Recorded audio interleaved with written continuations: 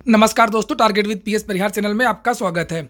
इस चैनल के माध्यम से आप लोगों को विभिन्न भर्तियों के बारे में सभी जानकारियाँ दी जाती हैं। उसी क्रम में आज की इस वीडियो में हम लोग बात करेंगे उनहत्तर हज़ार शिक्षक भर्ती की। दोस्तों, जैसे कि आप लोगों को मालूम है कि आज उनहत्तर हज़ार शिक्षक भर्ती की सुनवाई हुई और ज़बरदस्त सुनवाई हुई। और मैंने आप लोगों को बताया था कि उनहत्तर हज़ार शिक्षक भर्ती का जो ये कोर्ट केस है, अब समाप्त होने वाला है। जिस दिन से कोर्ट ने कहा था की लिखित सबमिशन पूरा करिए, उसी दिन से कोर्ट का दृष्टिकोण समझ में आ गया था की अब कोर्ट भी चाहती है की ये केस जल्द ऐसी जल्द समाप्त हो। उसके बाद में आज क्या हुआ, उसके बारे में मैं बता ही चुका हूँ कि आज जो वकील हैं, कालिया सर, उनकी आज बहस हुई और उसके बाद में प्रशांत चंद्रा जी की बहस हुई। सबसे पहले तो बहुत अच्छी बात भले ही एक घंटे से ज़्यादा बहस की हो कालिया सर ने, लेकिन उन्होंने अपना सबमिशन पूरा कर दिया। लेकिन जो बीएड के वकील हैं, प्रकाश चंद्रा जी, उनका सबमिशन आज भी पूरा नहीं हो पाया। हालाँकि अगर चाहते वकील साहब आज जो बीएड के हैं, वो वकील जमा कर सकते थे। शॉर्ट में बहस करने के बाद में अपना लिखित सबमिशन पूरा कर सकते थे, लेकिन उन्होंने ऐसा नहीं किया है। अभी बहुत सारे वकील और भी बचे हैं खास तौर से भी माथुर सर हैं। अभी उनकी भी बहस होगी, उसके बाद में वो भी अपना लिखित सबमिशन देंगे और उसके बाद में नंबर आएगा शिक्षा मित्रों के वकील का।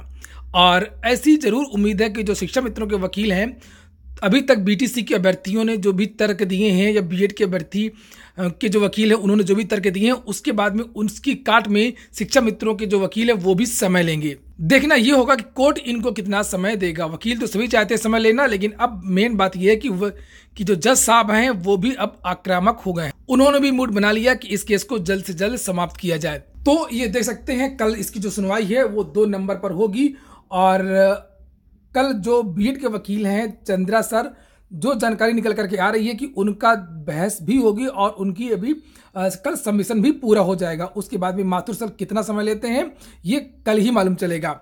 कल फ़िलहाल दो नंबर पर सुनवाई होनी है और जिस तरीके से आज निश्चित था, आज सुबह मैंने बताया था कि आप लोगों की आज जो है नंबर ज़रूर आएगा क्योंकि फ्रेश केस नहीं है। इसीलिए कल भी ज़रूर नंबर आएगा क्योंकि ये दो नंबर पर लगा हुआ है। और कल के बाद में जो अब अगली तारीख मिलेगी, कल के बाद उस तारीख में उम्मीद है कि जो शिक्षा मित्रों का वकील है, कि जो वकील हैं, वो अपना सबमिशन पूरा कर देंगे और जो अपनी बहस है, वो भी आर्गुमेंट है, वो भी पूरी कर लेंगे। बात कर लेते कि बहुत सारे विद्यार्थी लगातार पूछते रहते हैं कि, सर, किसका पक्ष भारी है, किसका पक्ष भारी है? तो मैं आप लोगों को बता दूँ कि अभी इसके बारे में कुछ भी नहीं कहा जा सकता। ये तो जज साहब ही जानते हैं कि किसका सबमिशन भारी है और क्या होने वाला है। जिस दिन जिनका वकील बोलता है, उनको अपना पक्ष भारी दिखता है।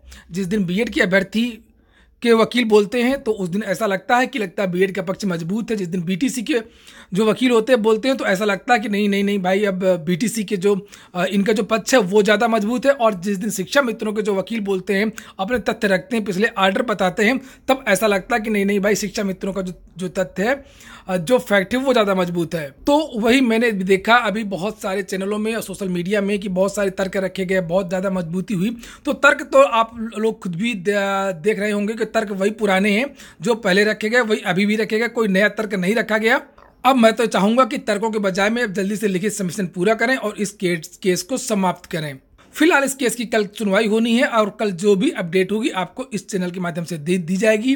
बस आपका जो ये केस है केवल दो और तीन तारीखों में अब सिमट जाएगा।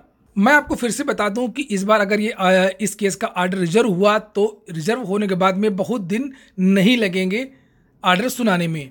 तो हो सकता है कि फरवरी के महीने में ही आपको ऑर्डर भी सुनने को मिल जाए। ये हो गया आज का वीडियो। अगर ये वीडियो आपको अच्छा लगा हो तो वीडियो को लाइक कर दें। जिन मित्रों ने चैनल को सब्सक्राइब ना किया, सब्सक्राइब कर लें। पूरा वीडियो सुनने के लिए बहुत बहुत धन्यवाद।